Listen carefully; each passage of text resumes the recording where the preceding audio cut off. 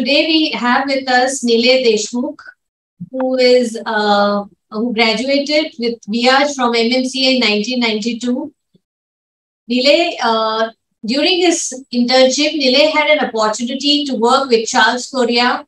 During the internship, Nilay worked on several projects, including British Consulate in India and IUCAA, a local project in Pune. Subsequently, Nilay pursued his master's in urban and regional planning from CEPT University, Ahmedabad, in 1994 and 95.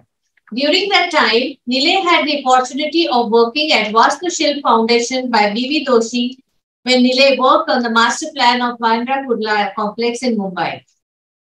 In 1998, Nilay graduated with Masters of Architecture from University of Illinois and Urbana-Champaign and decided to pursue his career in healthcare architecture. Since then, Nilay has worked on numerous healthcare facilities in the US. A new healthcare academic campus in Istanbul, Turkey, an academic medical center in Chile and an orthopedic rehabilitation facility in Haiti. Nilay is currently a senior healthcare architect at Shepley Bulfinch and visiting scholar at Texas A&M University and brings over two decades of experience in healthcare planning and design. He is passionate about envisioning and creating environments that enhance wellness and healing. Nilay is interested in evidence-based design and research and specializes in, in, uh, in planning and designing children's hospital, academic medical centers, and specialty healthcare facilities to address their long-term and immediate needs. Frequently under challenging constraints such as tight timelines, limited resources, and challenging sites. We welcome you, Nilay, for this five days, five alumni, and five international cities webinar series. It's been hectic and it's been grilling for you that I've been calling you all the time and messaging regarding the presentation and the, uh, you know, to work the logistics. Thank you. You graciously accepted our invitation without any hesitation, without any constraints. And with this uh, varying time schedules and logistic, you actually accepted and you are here with us today. Thank you so much for gracing us. And over to you. Thank you, Arti. That was a fabulous introduction. Let me share my screen. Um, okay, um, so this is this is kind of a different talk in a way for me. Every single day, I talk about my work, with my clients and users and whatnot. This this is the, this made me think because this is um, something very different than than what I normally do, uh, and I wanted to talk about certain things that you would or the students would remember than just showing uh, pretty pictures. So with that, uh, so this is what Arti had. So by the way, I'm calling Arti Arti by her first name. Uh, I know she's uh, she's a faculty and um, uh, madam to you, but for me, she's a junior. And other than that, I'm just not used to calling people sir, ma'am um, in the environment that I live. So no disrespect. Um, it's just that that's what I'm used to calling Arti as Arti and others. Yeah, no, no, you can uh, call me Arti. We've been uh, uh, together in college, and of course, uh, you have been my senior, so you have that privilege of calling me by name. Thank you. All right, thank you. Um, so so when I emailed Arti, what am I going to talk about? So this is what she said in a couple of lines. Talk about the strengths that each one of you, meaning students, uh, may have as graduate architects, and what are their what are their avenues for them. Uh, that is for you. And then talk about my work, uh, diversity and inclusion in the workplace. So I'm going to try to talk about these things first, and then if we get to my work, uh, given time, we'll get to it, which is not as important in my opinion. So let's talk about, so I broke it into three pieces, three segments to talk about what your potential may have. A lot of us have a lot of good qualities. It is just matter of somebody bringing it to surface. And then sometimes it's matter of realization that what is it that you are good about.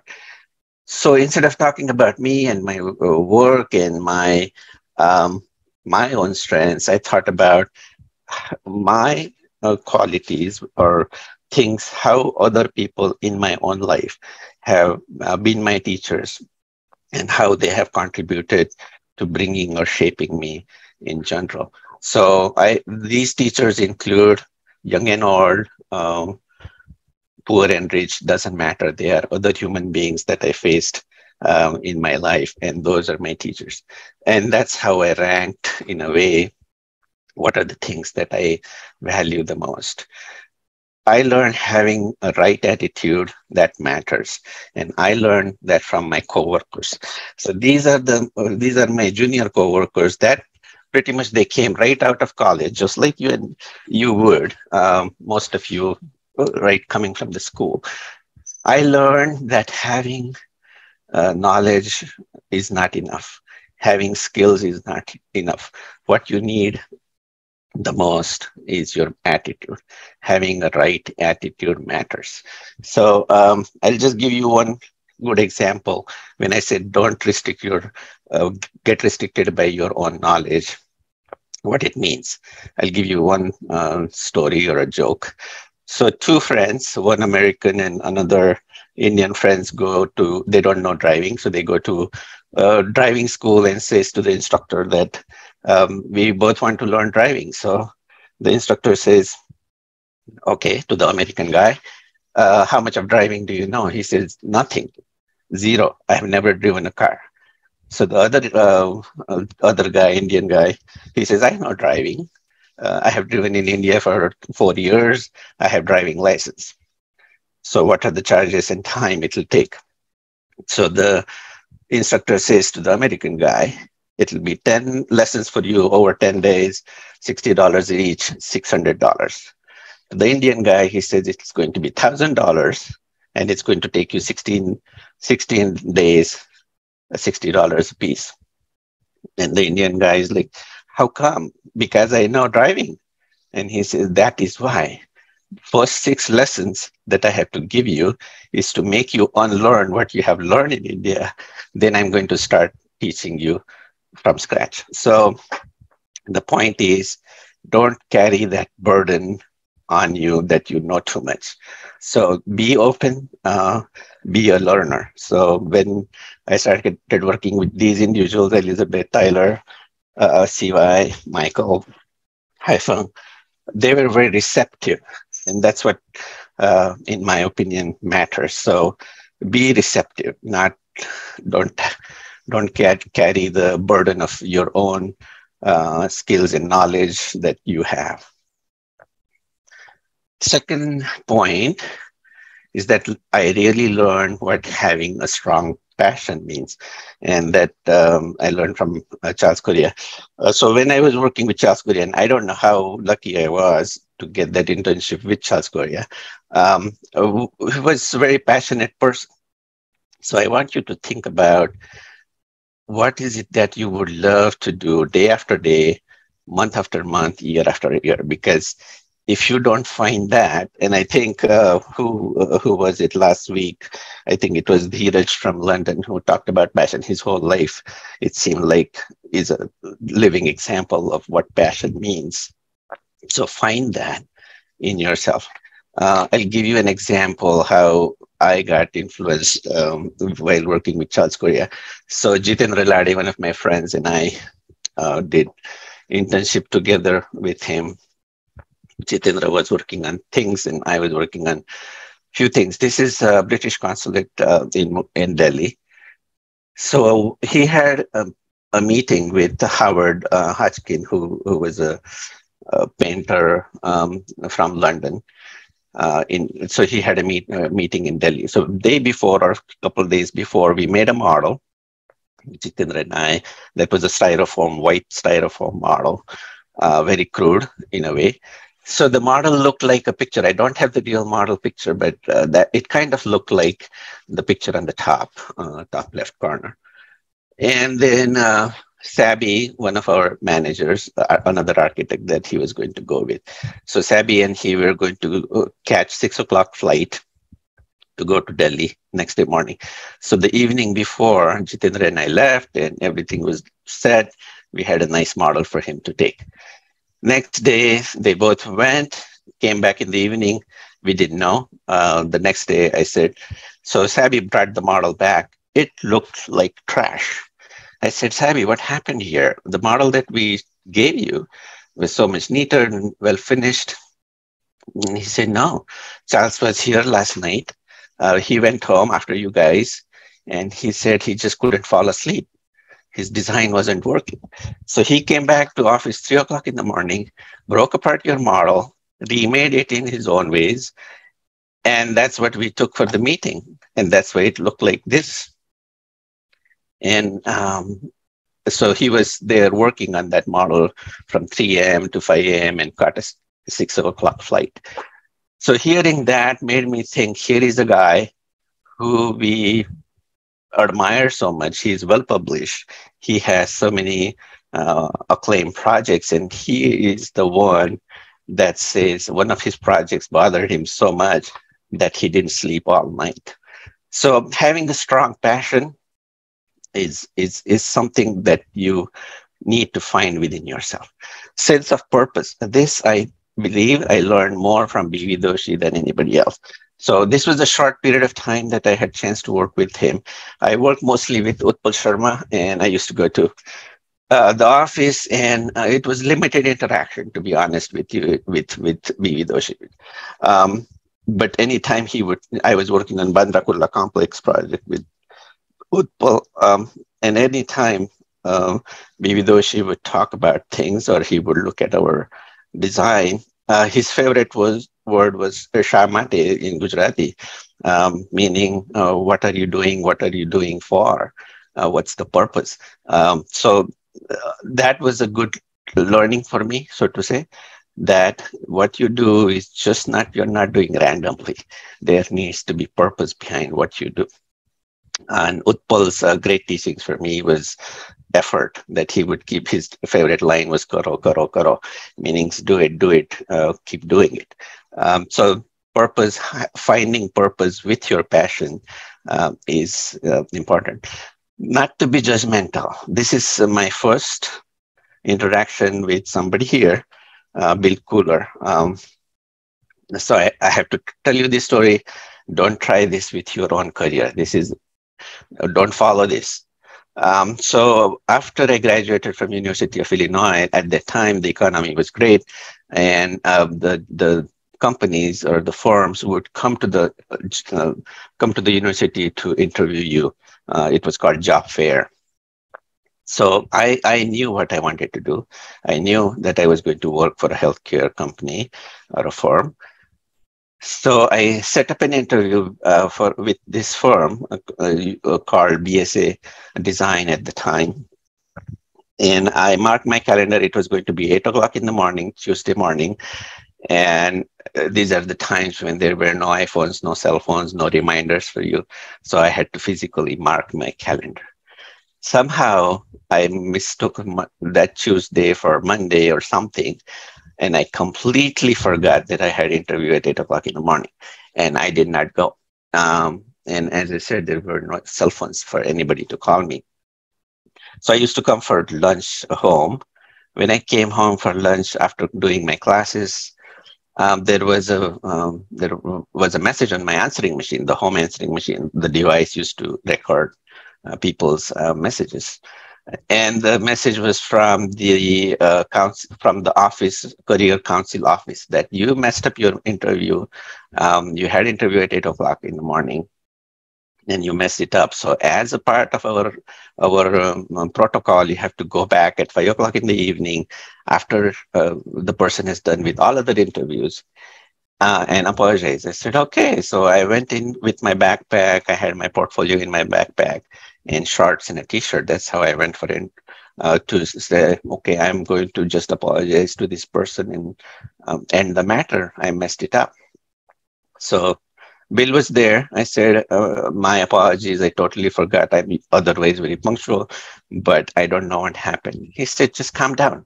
Don't worry about it. this is this is happens we all make mistakes i can completely understand that you could have um, messed up your somewhere along the line that you forgot about the interview so sit down so we sat there for not only an hour maybe two hours talking to each other we shared port- my portfolio his stories my stories he ended up hiring me out of all other people um, he didn't let that incident in any ways uh, reflect on how he evaluated me. So that was a good lesson for me. So don't try this with your first interview. It could be very dangerous. Um, I learned how to listen. And when I say I learned, this is probably not the best term because learning means you have completely learned something. I should say I am learning a lot of these things I can only claim certain things that I learned, but most of the things I am still learning. So ability to listen. So by listening, I don't mean just by not interrupting people, let them finish their sentences. I mean, lo- listen with your mind open. Listen what other people have to say. Um, accept it, absorb it. We all have different opinions. It's not always about you. So be receptive. Uh, so Prem was our director at School of Planning. Um, he had lived a lot of his life in the US and then he had come back. So he was the first person that I I thought he could listen. And there is there is a reason um, that we should all listen to each other, meaning understand each other. I learned that respect cannot be demanded. This is one of my bosses, um, Bobby Young. Um, she was a retired um, Air Force officer, and then she uh, changed her career, got into architecture. So what I learned from her, she never made any of us feel like that she was a boss. She was the captain of the ship. She was part of the ship. She was part of the team. And all she had to give was respect everybody. It was never like I am the boss and I am the ruler here. I never ever felt while working with her that she was my boss. So respect other people. Do not demand respect. It will come to you. If you uh, respect other people, it will come to you. Don't be hungry for power. Don't be hungry to demand respect. I learned and I'm learning that uh, learning does not stop, does never stops. And that this is my colleague, uh, Linda Haggerty, past colleague. So one thing I'm trying to do is not mention any people that I currently working with, just because um, I don't want to get in the political limbo of favoritism. But um, these are my uh, people that came to my life, and these are from the past. So they are not currently working with me. So avoid the temptation of copy paste. Just because you have done something before doesn't mean that's what you're going to carry over. Do not repeat yourself. Try as if every project is different, every every task is different. Because if every problem is unique, your answer to the problem should also be unique. So Linda was the first one that I, I thought she would truly start any project, any task right from the scratch um, so do not repeat yourself. I'm learning what empathy means from Komal Soni, one of my friends. She currently now lives in India. She was in the US before. But um, empathy comes from an ability to put yourself in someone else's shoes. It's not about you. When we say Amitabh Bachchan is a great actor, he's a great actor because he understands the role that he's playing if you are designing for somebody, you have to understand who your user of the space is, what are they expecting, what are they facing. So do not design anything for magazines and pictures. Design things for the end user. So be able to put yourself in the um, other person's shoes. I'm learning how to pick myself up from my father and my young daughter. Um, she's not young anymore. Well, she's still a lot younger than I am. She's 16 years old now. But um, celebrate your future uh, failures. What I mean by celebrating failures is let your failures not be stumbling block for you. Failures are going to come. If you're going to walk, uh, just like Ade Adays, crying over there by catching her um, fingers in the door. If you're going to walk, you're going to fall. If she's she was standing to learn, uh, learn to stand, she is going to get in trouble. Don't punish yourself. If you have failed doing something, let that be a ladder for your next step. So, without failures, what's the fun in life? Um, and this is my own. This I was going to go uh, do the last thing in the presentation, but I thought with all other things that I have to say and um, what I have to show, I might forget. Um, I'm going to, I'm just saying, don't let money buy you. Or I, I learned not to let money buy myself. What that means is never sacrifice your own values, your own passions, your own mind to surrender to money do not do that. Money is a big uh, illusion that the humankind has created. Do not fall for that. Okay, so the second part of Arti's uh, question was, what are the avenues? So avenues are many. Um, I'm not uh, going to be able to answer that question for you. Your avenues are your avenue. This was my journey. Um, this is not going to be your journey. We each have our own. So do not follow me. Do not follow anybody else for that matter. So um, just just make your path. There are many things that you can do in life. I can guide you. Anybody can guide you certain ways, but um, the paths are going to be different. Uh, so let's change the gears to. Then she she said, talk about your work, diversity and inclusion. So I'm going to talk about the diversity and inclusion first, and then we'll uh, get to the work part. So with the diversity and inclusion, uh, when I made that, this wrote this statement um, on the weekend, it felt like I was writing as if I was uh, similar to John F. Kennedy's statement about do not ask what your country can do for you, ask what you can do for your country. It sounded like sounded like that, and I kind of like it. Um, so ask not what if society could include you. Ask you as designer if you could include the diversity in the society. And I'll get to that in a minute. So just, I want you to zoom out a little bit. This is the James Webb telescope that we recently sent in the space. One of the pictures from there. Every single dot that you see in the space is a galaxy millions and millions of miles away. Where we are in this galaxy, who knows? At least I don't know. Uh, so each, so where I circled could be a galaxy by in itself. Who knows the beginning and um, end of these uh, darts in the uh, ocean, so to say, of space? You probably have read, may, may of, many of you may know this already about mitochondrial uh, Eve so this is the set of DNA that runs from mothers to daughters and daughters to daughters and so on. So when they go back and look at the, the, this DNA that go, only travels from mothers to uh, daughters, there is only one link that could be found that's about 200,000 years old um, with one woman. So her DNA exists in every single one of us. All 7.8 to 8 billion people on the earth come from single mother. That's how different we are. So why am I uh, telling you this is more than our similarities, we tend to find differences. So you can call Mukesh Ambani tomorrow and say, hey, hey Mukesh, we're all brothers and sisters. Send me thousand dollar check um, to share your wealth. Um, that's not what I mean. That so don't get engaged too much into how different we are. We are a lot more similar to each other than we are different. So National Human Genome Research Institute says that all human beings are 99.9% identical in their genetic makeup. The differences are in remaining 0.1%. That's how different we are from each other.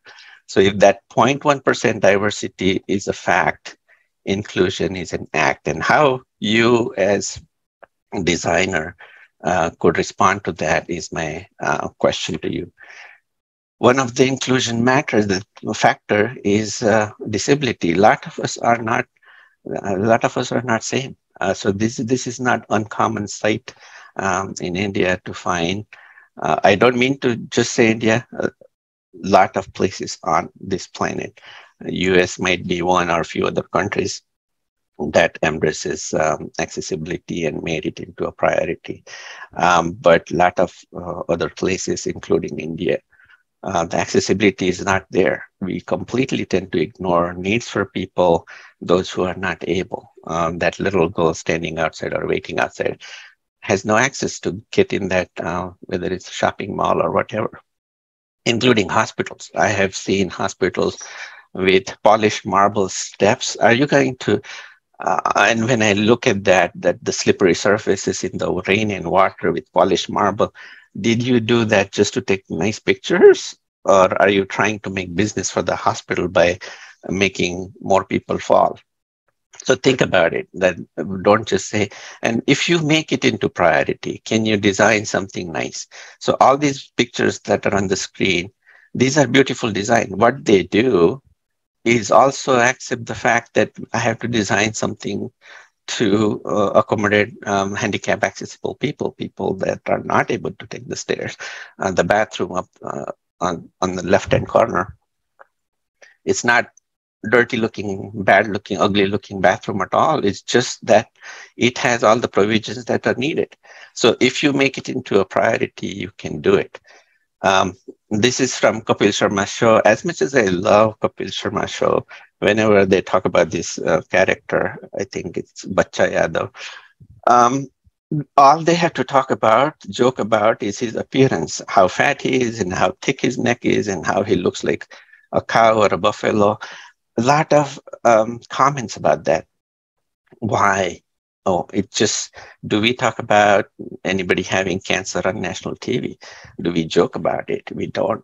So obesity is a complex disease and people know it. Those who are suffering with it, they know it. You are not the one who need to uh, tell them that you're fat uh, and uh, laugh or make a joke out of it. So if you don't take anything away from to my today's talk, um, at least be sensitive. Um, so these are the provisions that in that we make in healthcare. Again, none of these bad so provisions to so that the patient um, is able to walk, patient is able to go himself or herself to the bathroom, no th- thresholds in the bathroom, wide doors, um, the toilets are uh, made strong enough, and all these provisions. You, as designer, could do these things. Um, instead of ignoring. All you have to do is make it into a priority. Cultural and religious diversity. We all come from different backgrounds and we have to respect that. So before I uh, talk about this slide here, um, why I think being professional, you have to be true to your profession. So you you probably all have heard about Boston Marathon bombing that happened back in I think 2014 or uh, around that time. So there were two bombers that in the pressure cooker, they put a bomb and the marathon, a lot of people got hurt. Um, and whole Boston uh, was angry. So one of the two bombers, the older one, he got hurt with the police and he was brought into the hospital um, in, I think it was uh, Beth Israel Deaconess Medical Center. He was brought in. He had a lot of injuries. So the doctors worked on him all night and then there was a press conference next day morning, and the chief of the surgeon he said, "We tried this, we tried that, we tried that, but we were not able to save him. His injuries and the blood loss was so much that we just couldn't do it. We couldn't save him." And here, where the Bostonian uh, Bostonians thinking, why in the world you have to save him? Why are you even trying? He deserves to die. Well, they did what they were supposed to do as professionals. Their job was to try to save him when he was brought there as a patient. They did not take law into the hand and say why we we take the law in our hand. That's up to the law to decide whether he's a he's a criminal or not. They did what they wanted to do. So that's how you have to true to your profession. So don't don't let your beliefs be in the way. So this is uh, this is Boston Children's Hospital parking garage on the left hand side. The idea here was to create a bridge. It's a long bridge. This is not designed by uh, our firm or me. Um, this was one of the projects that they had. I used to go to the steering committee meetings and I would learn not only about our project, but other projects too, because it Boston Children's is a big organization. They have multiple projects going on at the same time. So the idea of the designer was to uh, put imagery of birds um, on that bridge. It's a long bridge, so something that will um, that will keep you motivated walking that long bridge along the way for the small children. So the imagery was going to include swans, other birds, and ravens, and all that. Along the way, what they learned that ravens are not con- are considered messenger of death in Middle Eastern culture, and the whole idea would change. It's not designer didn't say, "Oh, that's that's out in the Middle East. Who cares?" So we do get uh, visitors uh, from all, or the Boston Children's do get visitors from all over the world. So designer's job is not to say, not to ignore it. Uh, you you have to embrace the diversity. Uh, this is an example of um, a space that we have in the hospital. I don't have the recent pictures, so I use the rendering. But anyhow, the point is, um, so there is a small little chapel in the hospital that we uh, we have, uh, hospital has for people to come, uh, reflect, meditate, uh, relieve their stress, whatever. But in Middle Eastern culture, in Islamic culture, before they pray, uh, the practice or customary is that they like to wash their feet. Generally speaking, there is no foot washing space or foot foot washing um, um, provision made in any bathroom that you cannot stand, sit down and wash your feet. So after learning that, we made a point to include that uh, in the design and um, so that people can wash their feet before they um, before they pray. Other gender specific needs. So when my daughter was born 16 years ago, 17 years ago now, there, in generally speaking, there were not um, as many uh, places where women can breastfeed the child or pump the milk. Now it is becoming more common. And more and more, we are designing uh, requirements for the working mothers to incorporate. These are the small little uh, cubicles. It doesn't need to be um, big space. It just needs to be small enough that the woman feels comfortable uh, feeding the child. So as a designer, you just have to, that's part of the diversity. LGBTQ community. Now, again, um, India has come far along from uh, when I was living in India to this point. Um, but as designers, what is it that we can do? So this is an example at um, Rhode Island School of Design, RISD, uh, very close uh, from where I live. Um, so there are no gender specific bathrooms here or uh, toilets. This is for men and this is for women. This is for uh, for all uh, sorts of students. They don't necessarily have to reveal their gender identity because gender identity is not always very visible. It's a very personal issue to many people. So uh, that's how the designers us can um, can include this diversity. There are other um, uh, other needs in the society, such as mental health, cognitive ability, vision impairment. So, as I said earlier, um, empathy, comes from ability to put yourself in somebody else's shoes. So think from these 10 points. Don't design anything just for pictures. Uh, that will happen. And just as a reminder, uh, when I say don't design anything just to take pictures, our primary responsibility in this field is to safeguard public health, safety, and welfare. So don't forget about that aspect. Okay, so let's change about my work. Um, so I have done several projects. I, I didn't count, um, I don't um, it would have been a nice exercise for me to go back and see, but I didn't come. So instead of talking about all my projects and work, um, that you will not remember for too long. You will forget in matter of days. Um, what I want to talk to you about is the process, and I'm going to pick one project very recently uh, completed project at Boston Children's Hospital. Um, so Boston Children's Hospital is um, teaching hospital for Harvard Medical School. It's right next to the uh, right um, Harvard Medical School, and it's one of their teaching hospitals. So I will talk about the process, not necessarily the project uh, in itself. So just to introduce you, the yellow box is where the site was created, so to say, uh, for the project. So it's a very dense um, urban environment. Uh, the site was created by demolishing two old buildings that were no longer um, practical for them. And then there was small garden there. So uh, we had to replace that garden in terms of our design because garden is not something that gets replaced uh, here in the United States very easily. People don't give up on garden spaces or open spaces so easily. So we had to incorporate all that garden spaces into the design in form of uh, roof gardens and interior gardens and other garden spaces that would be more useful for the patients to use.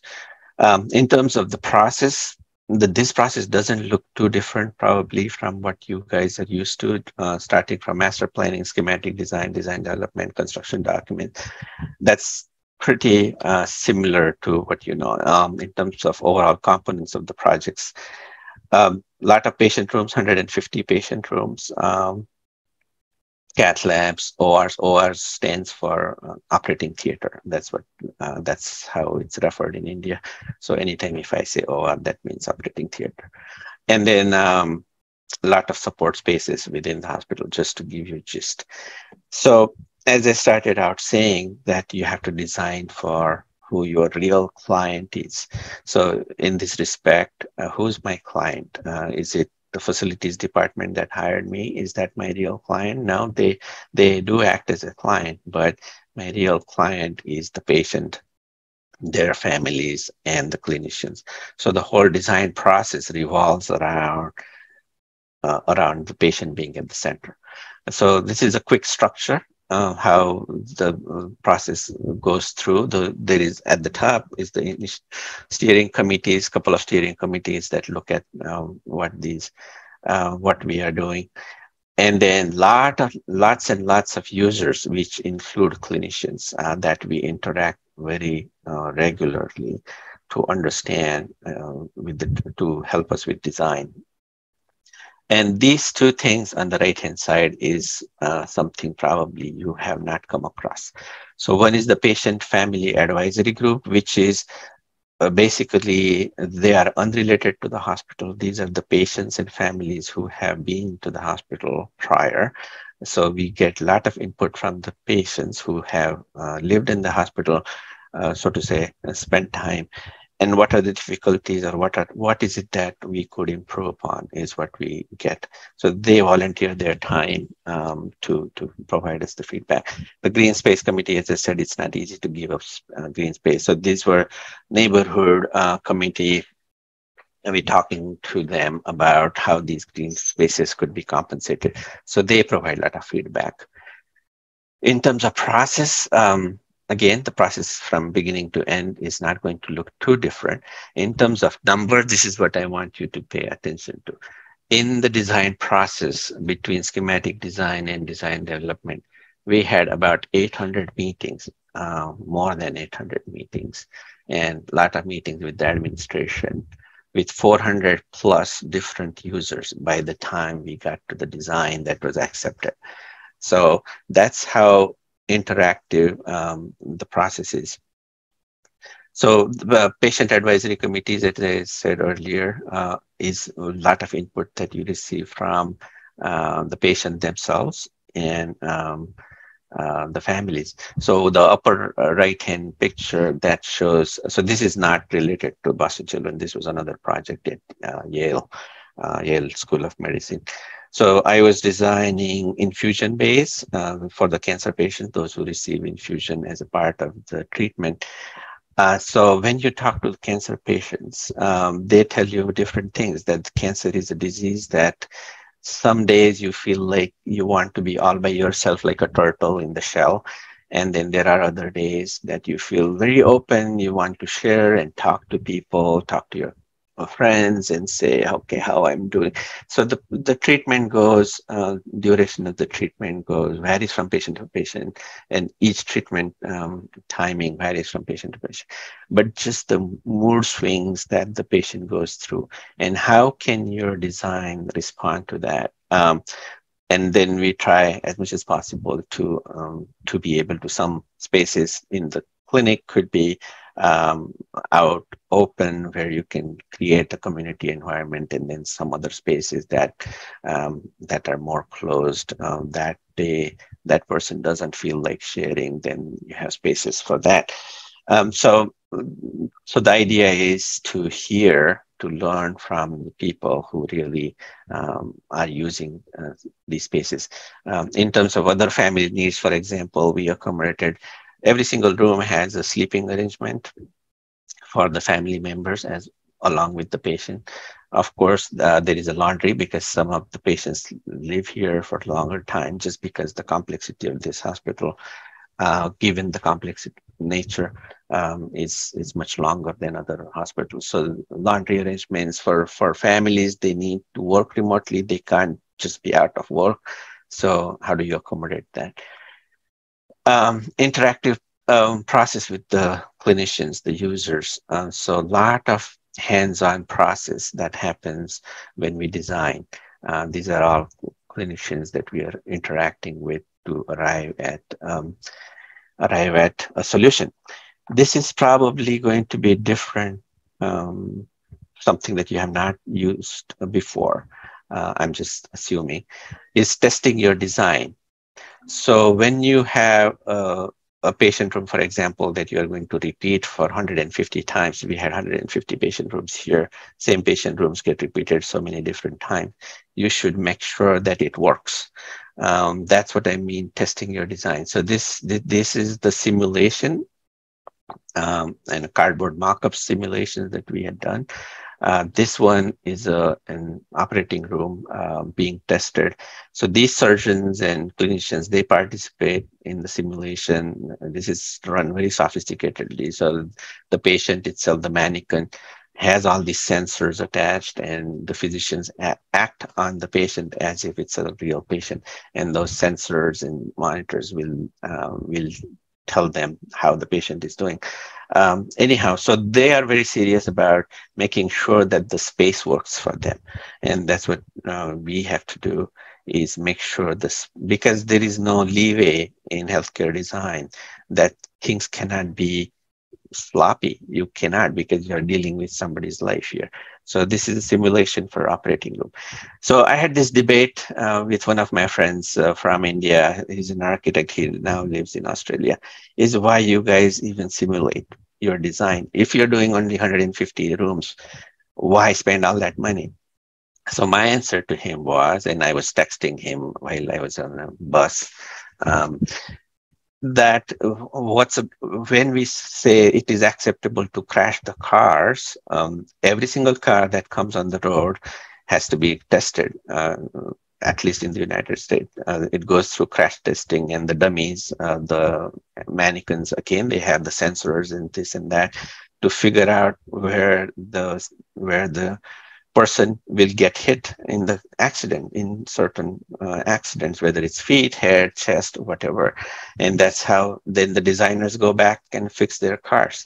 If you run the same math and i'm not going to go through this line by line if you take the best selling car in the united states in 2020 that car would have been used by 3.9 million people um, over five years uh, of its lifespan. The lifespan of the model is about uh, five years. If you take a patient room and then see how many days on average a patient stays in the room, multiply that by 365 days in a year over the life of the building, that is about 1.8 to 1.4 million people who would have used the patient room. So you don't want to carry forward the same mistake. If you make a mistake one place, you don't want to copy it over 115 times, have 1.4 million people go through your mistake. So that's uh, why, that's the logic behind testing your uh, design. So this is a patient room that's being built uh, as if it's a real room, um, but with the drywall, there is no ceiling there. But just to make sure they do again uh, simulate and figure out what the issues are before you uh, make it repeat your mistakes 150 times. Then we develop a long list of things and the feedback that we uh, receive from the users and then we make adjustments. Um, this is and this doesn't have to be any fancy. It could be done with the cardboard. It could be just one to one uh, because we as designers can imagine space. Not everybody can. Um, even if people say on the paper to you oh that looks great uh, doesn't necessarily mean that because people are not trained to read drawings. They are not trained to visualize spaces. So if you could do it in your own ways uh, whatever the projects or things that you're working uh, you're working on you can do this if there is space available. Um, just just do it uh, in a very cheap, moderate fashion. Um, these are some regulatory, uh, I'm not going to go through uh, it. It's just a set of resources for you. So with that, I'm going to open up for questions. In the meantime, I will run this another PowerPoint, which will uh, run on its own for you to um, look at some of my work. So questions?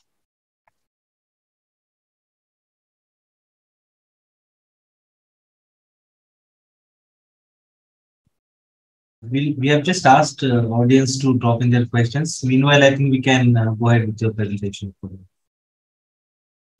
Um, so these are just the projects that um, I have. The, the, it's set on the um, automatic set of. Uh, it just runs on its own, but I'll make it stop if you want to. So um, my projects are pretty much several parts of the country or uh, the world. Um, this is the Boston Children's that I quickly talked about. Uh, the roof gardens that um, that are on the roof, interior gardens um, within the hospital. So a lot of patients cannot go outside, just given some asthma issues or other mobility issues. Patient rooms, um, some interior spaces within it, um, clinics. Uh, this is a pharmacy, uh, another shot of interior um, garden. Another hospital that I uh, worked on in Elgin, Illinois, close to Chicago. Um, this was a brand new hospital, so to say, replacement hospital uh, that has a geothermal lake. All the energy to the uh, hospital comes from the lake uh, in a geothermal manner. Uh, this is Koç University Hospital. This was gigantic project in Istanbul um, very different experience for me in terms of context, um, how it was used. This is one project. Uh, this is the cancer project that I was talking to you about in with regards to a lot of feedback from the users. Um, this is a heart hospital in Illinois, Urbana-Champaign, Catholic Medical Center that it's not under construction yet, but that we recently designed. Um, Michigan Children, this was a clinic um, in Detroit, Hartford Hospital. Um, very dark interiors. That was the preference of the owner um, sometimes, uh, but that's the kind of interior they liked. This is a master plan for uh, Trinity Health. This is one um, PTOT physical therapy unit that they designed for children's Lahey Clinic in Burlington, patient rooms, ICU rooms, and some other patient care area. This is one small rehab center after the Haiti's earthquake in 2010 uh, that I worked on. Greenwich Hospital. Um, for AIIMS in New Delhi, we had a proposal back in 2006, um, but then the government changed and all this, it fell apart. Uh, Bandra Kurla complex uh, in Mumbai that I worked with uh, B.V. Doshi on. Okay, so that's um, all I have in terms of my presentation. Uh, yes, sir. Uh, we have a question from uh, Asmita Patwardhan. Uh, how would you approach change in a scenario like India? where patients or visitors footfall is significantly larger than developed countries. With tight resources and varying economic capacities of patients, what would be the aspects that should get primary focus? So if anybody tells you that United States is a rich country and has ton of money, if anybody tells you that United States has a lot of space and space is not an issue, they are lying to you. Um, because I have not worked on a single project yet that does not have constraints with regards to budget or that does not have constraints with regards to space. It always is an issue. So uh, I understand that uh, the the patient population is different, poor and rich, and this and that. When I think about why healthcare uh, gets uh, it suffers compared to other spaces, have you been to any any hotel that is shared with another strange person? Any any hotel in Mumbai, for example, every single hotel in Mumbai, it has its private room pretty much. You are not sharing your room with another stranger even if that hotel is in the other area or in uh, any close to the airport, it still offers you a private room. It still offers you your own space. Why is it that hospitals cannot do it? When you when you are in a very difficult time in your life, you have to share your room with other strangers, catch other people's diseases, infections, in my mind, it's just not the priority made. It, so here, that used to be the case years ago, not in my career, but once the once you make the priority, you can do it. Um, so ch- challenge your clients, challenge them. Uh, why not? It's not always the cost because there is willingness to pay in terms of um, if if it's uh, even with the government, there is strong initiatives, a strong willingness to invest. Um, so I'm going to talk, I'll just tell you, this is a secret project with government of India right now, that one of the, it came through a foundation to us. Um, and uh, government of India without revealing too much more about the project, is planning to do cardiac hospitals, not only one, but they want to do several, 20 different cardiac hospitals in different parts of the country and ch- children specific. Uh, so they came to my firm and then my firm guided them to me and then i'm i was the one that you know, kind of pointed to work on this project so and they said do whatever you want to do um, they were ready to prime minister's office was ready to meet with us. With our time three o'clock in the morning uh, your time three o'clock in the morning or they said do whatever you want to do. So the administration the mindset has changed. Um, when i show these kinds of projects even in uh, amravati where i come from to other um, people they just refuse. I think uh, just as one of the slides that I showed about handicapped people, it's not that you cannot do it. The, the designers can do it. It is just needing, um, having that ambition to do it. Why, why is that? Is there is there money as a constraint not to be able to do it? It's the willingness to do it is lacking. I don't know if I answered your questions or not, but I think um, straight away. But um, I I haven't practiced too much in India, but where where whatever I see, the number one thing is lacking is the willingness to do it. I think there's a one mention about the footfall as well. I mean to say the capacity of hospitals are probably you know uh, in terms of uh, it's uh, much more uh, than uh, other countries probably as well.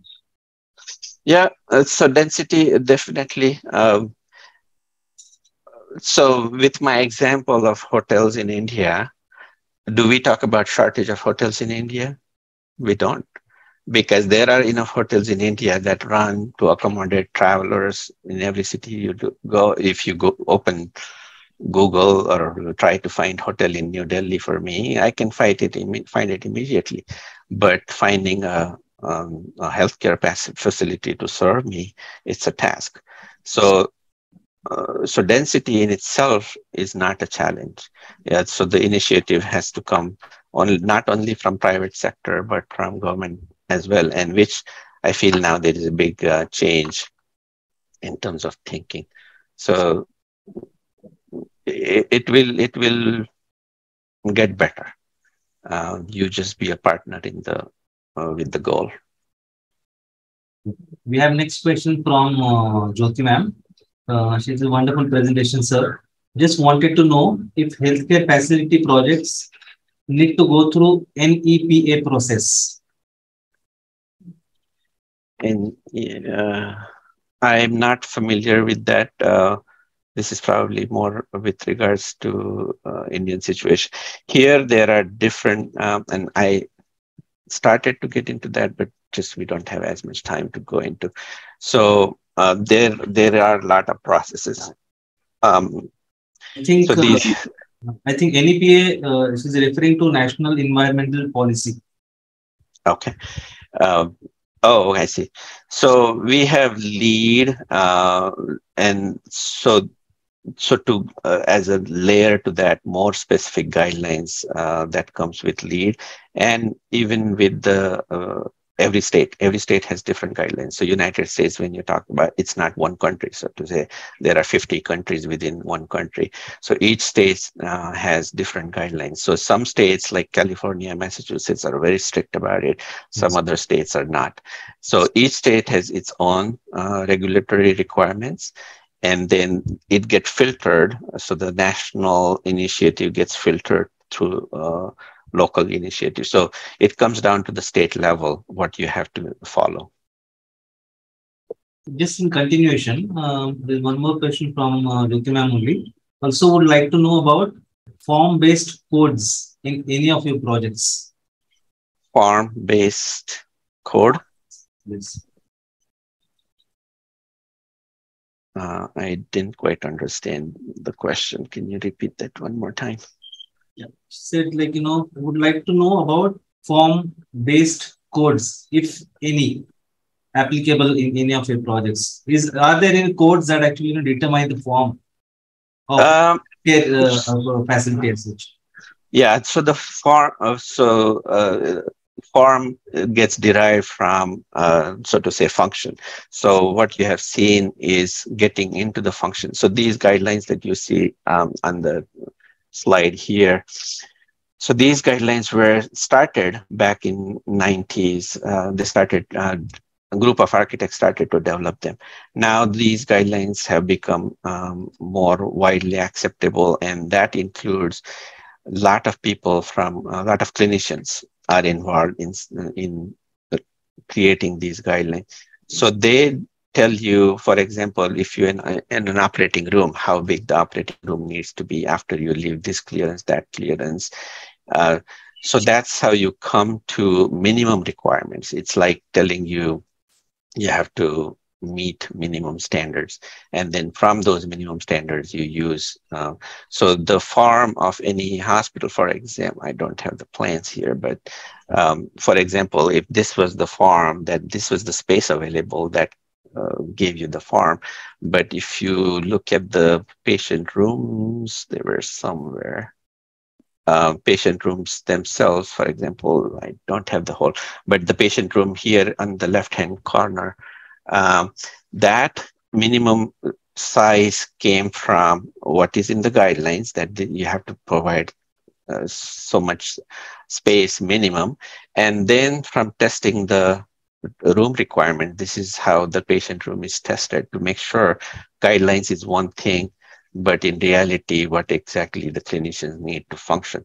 That's how that form is developed, so to say, and then it then it links with uh, the bigger form of the uh, space. We have a next question from one of our students, uh, Prithvi. Uh, hello, sir. Really admired your philosophy and passion for your work. I just want to know how do you maintain a balance between your passion for the project and practical feasibility of the project? Which one would you prioritize more? Practical feasibility. Um, I don't know what practical feasibility means. Um, uh, passion is something uh, that will keep you going and keep doing what you do. Um, so when it comes to practical, and I'm, I'm going to interpret in my own ways uh, the practical feasibility. As I said, if anybody tells you that in, there is plenty of money in the United States and you can do anything uh, and everything, that's not true. Every single project, we go through the constraints of space. We go to go through the constraints of uh, of uh, budget. But I take up a fight. I speak my mind when it comes to safeguarding patients' health. So if if there is uh, budget cuts that are made that will compromise patients' health, I I pick up a big fight about that in terms of you know I speak my mind when it comes to patients' health and safety. But if there are other things that you have to compromise on, which we always do, um, if if there are spaces that are not necessarily, so you have to prioritize. Okay, if my center of my attention is the patient, I don't want to cut back on any any provisions made for the patient.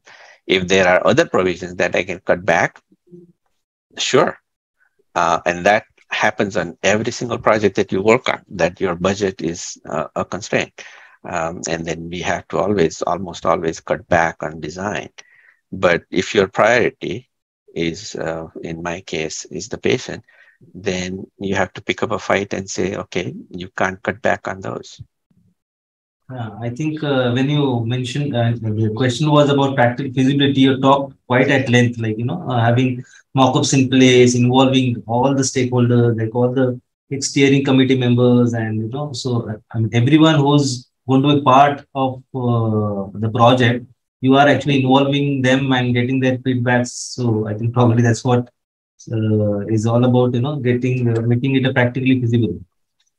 That's right. Yeah, but one more uh, question from Gauri Kundale. Hi, sir. It was an amazing presentation. Can you please share the scope of Indian students in USA at present condition? Um, so we need a lot of people to work. Uh, so architecture goes in a swings in terms of uh, demand um, as the economy does well, generally speaking. Architects do well as the economy goes down. Architects are not as busy. Um, that's that's how it is probably uh, everywhere.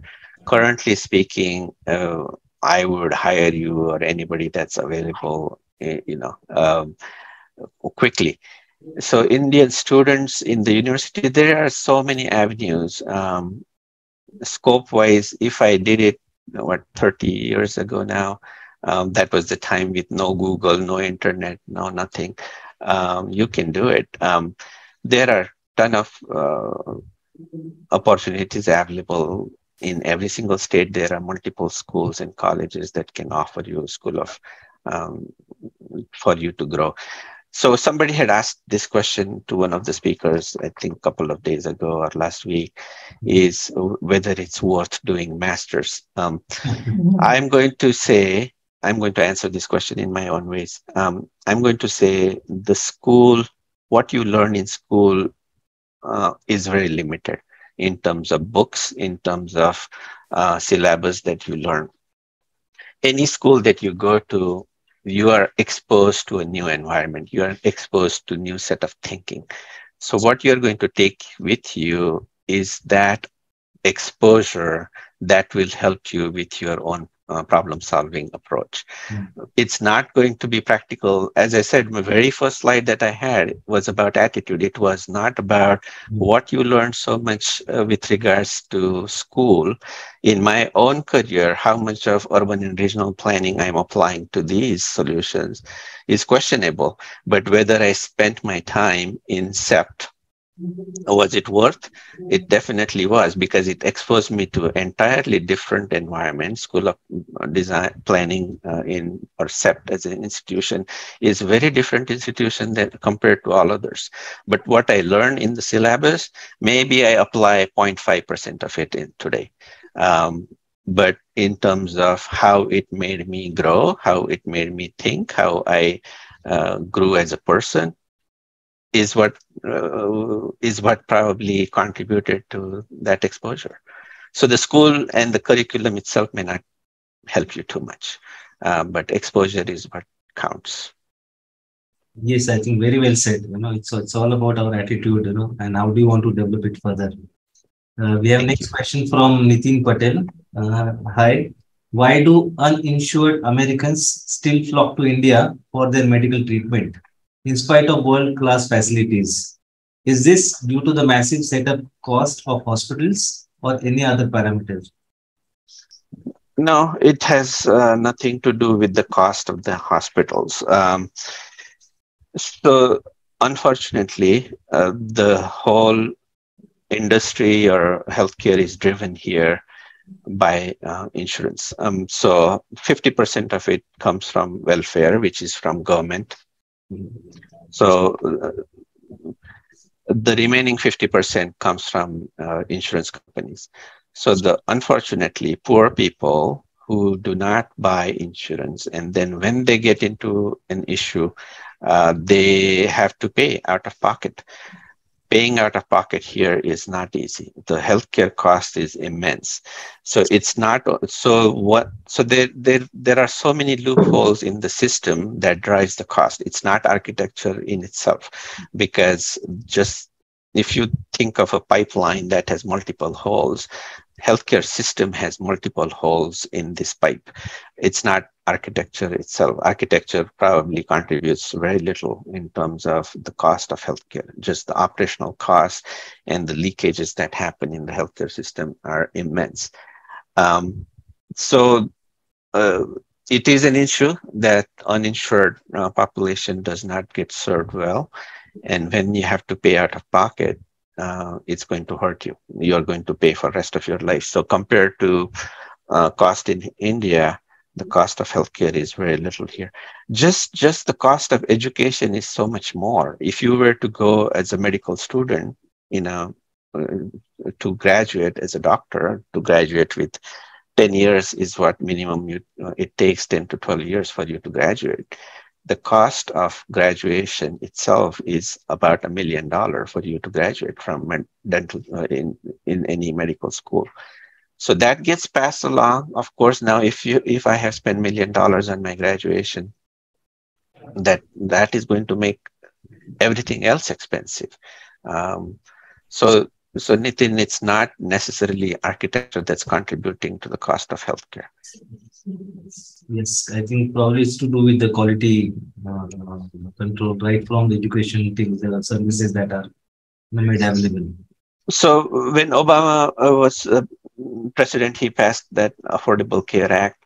Um, and that was just to capture the population that is underserved. So if you're not paying for insurance out of your pocket, um, then that was the effort to to be able to capture that population. Um, so whether it has succeeded 100%, no, uh, but there are some holes within that. But that was the marketplace open for anybody in, who doesn't have insurance to buy insurance and subsidize, so to say, um, or low cost healthcare insurance. But then there are some people, about 10 to 15%, who just don't buy insurance. Yeah, and then when. Sorry, we have next question from Ayush Hazare. Uh, being in healthcare architecture, while designing, do you face any restrictions in terms of creativity and design while dealing with legalities? Probably, I think you mean to say that you know it's uh, healthcare is more of a function-driven uh, you know uh, projects. So, do you really? They are, but my argument uh, would be: Do you see any of these projects that are all regulated in terms of uh, how they um, should be or what the minimum requirements? If you can point me to one of the picture that you say uh, that is ugly, and then I would say yes, that it is ugly because because of the regulations. Um, if you can point to me any of the projects that you see on screen, and there are many more um, creative architecture, it's not the creativity that gets stunted by by regulation. What what how how are you creative if there is no restriction? The whole word creativity comes from the set of restrictions. If if I have a blank canvas, which is very challenging to paint something on, if the canvas didn't have any limitations, if it, it had no boundaries. So so just having the boundaries doesn't mean that it's limited um, by regulations. So if you see it, if you comment on any of these, that these are ugly spaces, then I would say, yeah, I was restricted. But just as the one um, slide that I showed you, so so uh, following um, handicap accessibility in these spaces are these bad spaces? They are not. They are just saying that we have to incorporate handicap accessibility in these spaces in my mind, those are beautiful spaces. They also reg- uh, follow regulations and they also serve the community that is underserved, which is handicapped people.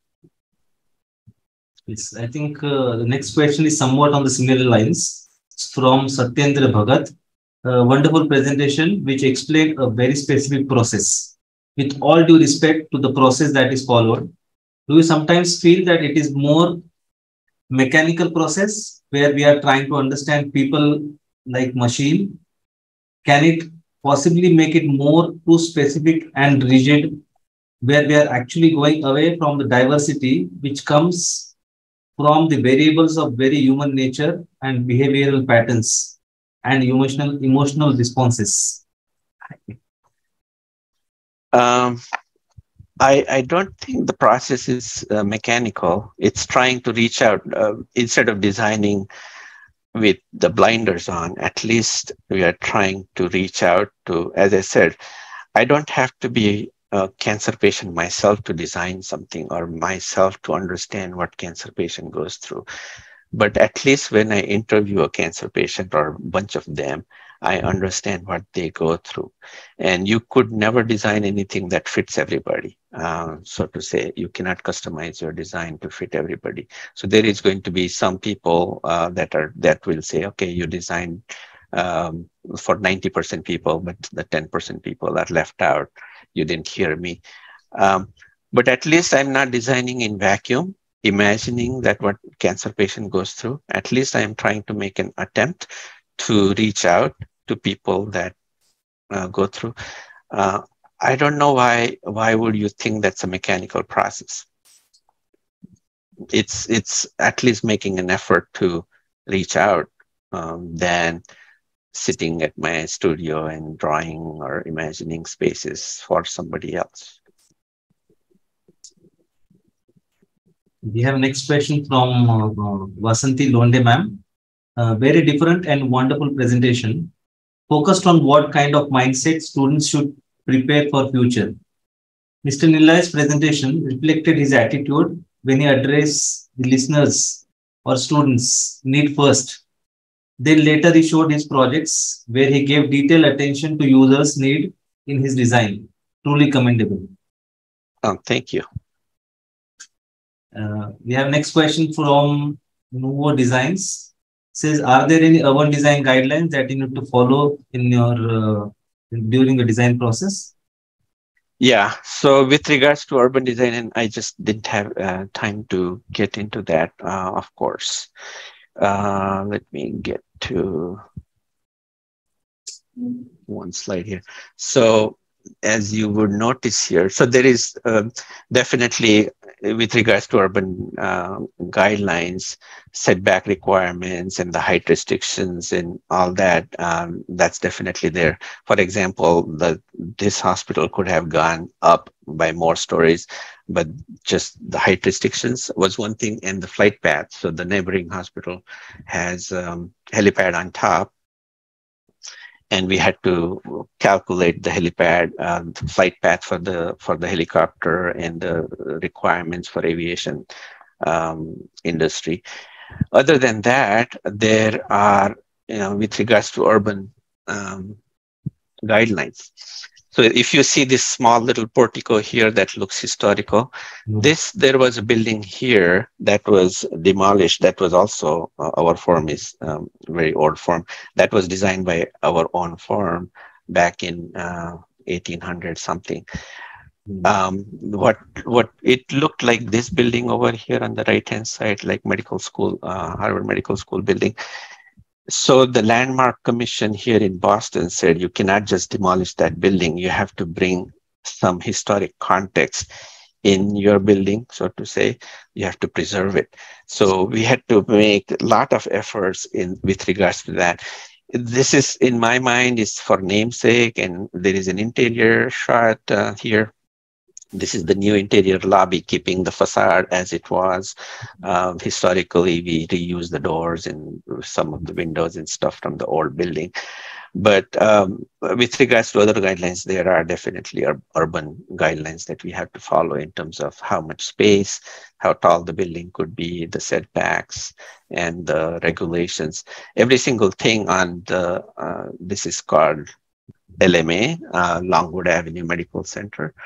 Every single elevation that we create here has to go through Boston Landmark Commission to approve whether this architecture is acceptable or not. Boston is one, uh, it's not only with regards to Boston, but Boston is uh, one unique city in the US has very different character of architecture that you have to maintain, you have to respect. Um, so yes, short answer is there are bunch of regulations that we have to go through. Yes, just know uh, from it's uh, out of uh, like the number of projects that you have shown. Uh, in India, normally we say a private hospital and a government hospital. So is a similar terminology followed there or like, you know, how, how is it different or works on the similar lines? So, so in the US, government hospitals are only VA hospital, which are uh, for um, for veterans. All other hospitals are on their own, these are mostly nonprofit organizations. So, so what you are seeing on the screen is a nonprofit organization. Uh, it's neither government nor private. So all of their money goes back to providing care. Uh, so nobody's making money here in terms of, you know, stacking money away. So by end of the year, all that money goes back into providing care. So there are, there are hardly any uh, private hospitals here. Um, there are some private clinics, but those are very small. Um, but in terms of hospital, they are mostly um, non-profit organized. I think this is the one of the biggest difference. Uh, I think so. I think uh, next uh, message is a comment from uh, architect Arjun Hablani, who is the roommate of Atul Jain. He says that Nilay missing those college days at hostel where he used to guide us please convey this message to him. oh, thank you. I remember her, now, of course. We have next question from Aditya Wale. He's one of our students. Healthcare project in India is going towards energy efficient design nowadays. Is there any new tools to use energy more efficiently in future designs? Yeah, so the hospitals here tend to be number one consumers of energy. Um, so back in India, you could use multiple uh, tools. So this project, for example, this was um, the first project that I worked on. Um, so this lake, lake had a purpose. So this humongous lake, that was a man-made lake. It wasn't, um, it wasn't there uh, before. So this uses geothermal energy so the heat exchange happens through the lakes, uh, minus 58 degrees, uh, sorry, 58 degrees Celsius Fahrenheit. Uh, water temperature that remains constant through winter and summer. So just because the healthcare projects tend to be so heavy in terms of energy consumption. Um, so these, all these pipes that you see, the manifold, so a lot of bunch of pipes. Now I regret that I didn't include those pictures, but anyhow, um, so this is this lake provides energy for this hospital, um, majority of it.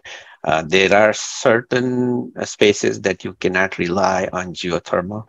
Um, then there is solar, then there are energy efficient, you know, wind is not uh, quite practical. Um, even solar is limited uh, in terms of your own supply. So the geothermal, just because this hospital happened to have so much land, we made that man-made lake uh, as a source of energy. Uh, with regards to India, I think we uh, we are missing out on solar. Um, but solar also takes space. You need a lot of panels, lot of space to install them. Uh, my brother-in-law's hospital, they use solar panels on on their roof. They use it to for hot water. So they they provide um, not for electricity but hot water. So do whatever you can, but I do agree that uh, healthcare hospitals in general take up a lot of energy, um, and this was one of the examples how you can provide supplemental source. One, we have one comment actually from Ramakant Bhutada. Fantastic, Nilay. Hats off. Reminds me of your attitude in college days too. No change. So, that's great. Uh, so uh, that is a, a, kind comment, Ramakant. Uh, so if the attitude has not changed, that means I have done well. we have next question from Sakshi Vaman uh, about the testing of design and mockups. Are they or can they be done feasibly as the project scale increases? Uh, not only for internal spaces. I mean, uh, for the exterior, exterior, exterior, and again, I don't have the slides here to show exterior. We do do uh, exterior mock-up as well, not the whole building, but the building facade. Um, so if um, for every single project, for example, this um, building skin, the glass panels here, and the whole whole assembly, uh, exterior assembly was mocked up to make sure that it um, here in the United States, the weather is so such a challenge to deal with um, because not only earthquakes, not only uh, wind, not only thermal changes that goes from minus 40 degrees Fahrenheit all the way to 110 degrees Fahrenheit. So to test the uh, assembly, the building assembly, we do do mock-up and it does get tested in terms of uh, thermal performance, uh, whether it's going to leak somewhere, whether it's going to have a dew point somewhere in the middle of the uh, assembly, whether you are going to have moisture um, that just because of the temperature difference is so vast that the moisture from outside in or out inside out could leak into the uh, cavity itself. So we do do those mockups, um, not a full scale, of course, but um, the whole assembly gets marked up for exterior design. Uh, we have next question from Mayank Barjatia. Hi Nilay, amazing work. Do you consider oh, you. geobiology, EMF, and e-smog in your hospital designs, especially for cancer hospitals? To be honest, I these are new terms for me. Uh, geobiology is I don't even know what it is. Uh, can can he expand? Um, we can go to the next question and he can come back. Uh, but uh, these are all in a way new terms for me. My apologies. Yeah, I think I'll I'll have a last question from. Uh, uh, yeah, we have what advice as an alumni you will give to our students? uh, I, am surprised that even is a question because I think first 10 slides that I gave you, um, not my work, but uh, the other ones, the 10 things that if you can take with you mm-hmm. is my advice. The number one is have go out as a blank slate. Um, don't carry your burden with you that you know a lot. Um, if you think you know a lot, there are a lot of people who know a lot more than you. So uh, be able to learn, um, have that positive attitude towards learning. These individuals that came right out of college to work with me uh, that is what they had is ability to learn. Nobody said oh i went to this school of uh, this school of architecture that school of architecture. I came from harvard and came from mit that would not help too much. So don't carry that burden that you belong to this school and that school and you were one of the first merit students in the college. It won't matter because it i will remember that you would you you were a merit student and you got first class and you got 90 out of 100 that i will remember for two days and on third day i want you to work with me. Keeping that aside, that doesn't help me. Whether I would work with a person from Harvard or MIT, or whether I would work with an, any other person who has a right attitude, I will choose a right, right attitude over your degree. So, um, if nothing else, go out there as a blank slate, be able to absorb. Um, don't, just as I said in this bullet point here, stone doesn't uh, absorb water, sponge does. So go like a sponge. Forget about what you know. Uh, I think you started your journey uh, working with B.V. Doshi sir and uh, Charles Correa sir, B.V. Doshi sir, and went on to you know uh, much more larger picture. Uh, what uh, what is the piece of practical advice you would give to someone who's uh, just starting out? Um, starting, uh, so you don't have to work for these uh, personalities at all. Um, because it I it, I just happened to be lucky, and I don't know how it happened, uh, how I deserve to be working with Charles Correa, but it happened with. It doesn't mean that you have to work with these amazing people, and if you look carefully, that I don't draw these qualities or learnings for myself only from these people. They they were they are big person they were big personalities, and there is a lot to learn from individuals like that but you don't have to work for somebody like that. Uh, so in my walk of life, I have all these people that that I learned many things from. These are not amazing individuals. These are amazing in their own ways. Uh, they may not be well known. I'm sure none of you heard a lot of other personalities that I used in my presentation. These are people like you and me and we all have something or other to take from. So don't get engaged into what somebody is not, uh, take what they are, and there is always good and bad. So if you are working for anybody um, as a young graduate out of school, uh, you don't have to work for these, you know, um, big architects. You can work for anybody. It depends on what you what you do, what your approach is. Uh, I think nowadays we hear a lot about healthcare tourism. So, mm-hmm. I uh, do you have any comments on this? So, healthcare tourism, uh, because again, affordability, it's not um, not too many of Americans go out uh, as a tourist, but from uh, to India, but a lot of people do go from Middle East and other African countries to India to receive uh, treatment. It's all driven by um, by uh, money because healthcare in India is much more affordable than other countries.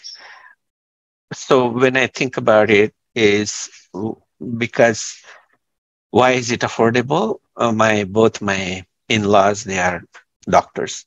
How much money did they spend in terms of their education? They spent zero. They they went they both went to government schools to get their education they had no burden of loans and they had no burden on them uh, and nothing negative it's just that the healthcare that they provide to uh, society is not going to have that burden of um, i paid million dollars for my education that i have to pay back they don't um, so automatically the healthcare uh, that they provide is going to be much more affordable than you would get in other countries.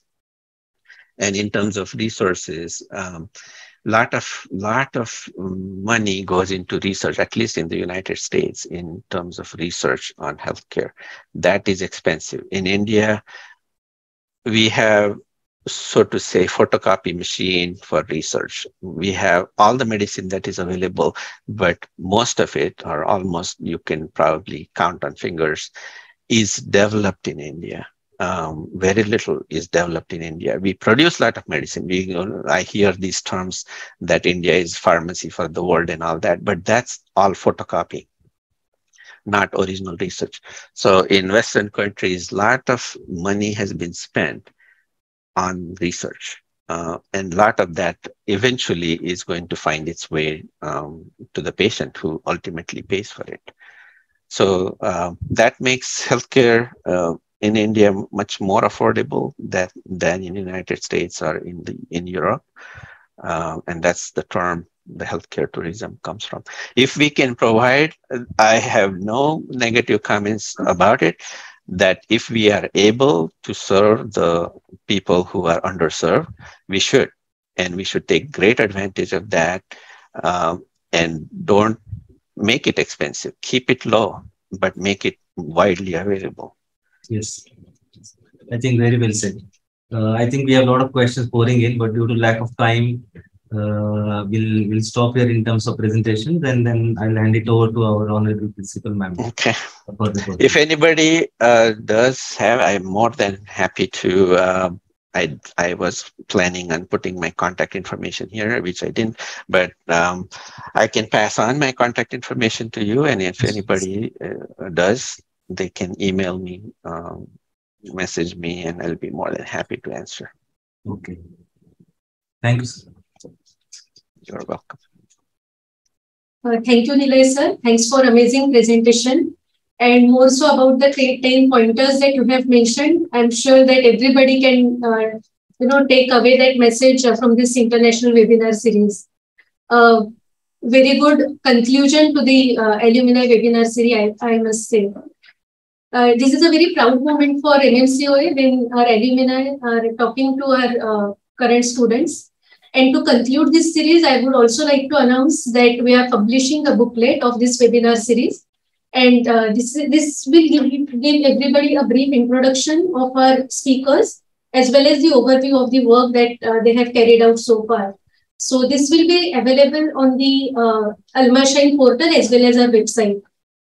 I extend my uh, gratitude to all the esteemed speakers of this webinar series, uh, Architect Jyoti Gugle, Architect Dheeraj Apolkar, architect Nachiket Garge, architect Sohan Sara, and Nilay Deshmukh sir for your insightful sessions. Your journey and soulful interaction was really outstanding. I'm sure that we'll cherish these learnings for, from your varied experiences. Uh, I thank each and everyone for your presence and contribution towards this webinar series. I could see a lot of uh, senior architects, senior faculty members who have taught our alumni, who have presented their work in this particular series. Uh, practicing architects, alumni, friends uh, who took time from their busy schedule and attended this session. Uh, my sincere thanks to you all. I would like to thank our webinar team, MMCO Alumni Coordinator and the International Webinar Coordinator, Professor Arti Patil, who has coordinated this webinar series quite diligently. Professor Sachin Vaman for uh, lively question answer sessions. Uh, Professor Shaunak Naik, Professor Smita Patil and Sagar uh, who were part of our backstage team, a perfect supporting for all the possible arrangements that we could have for this international webinar. I would like to thank all the honorable members of Marathwada Mitra Mandal who extended their constant support for all our activities. And with this note, I again thank one and all for your participation to MMCO's five days five alumni, five international cities, and a standing invitation for all the alumni to visit college whenever possible.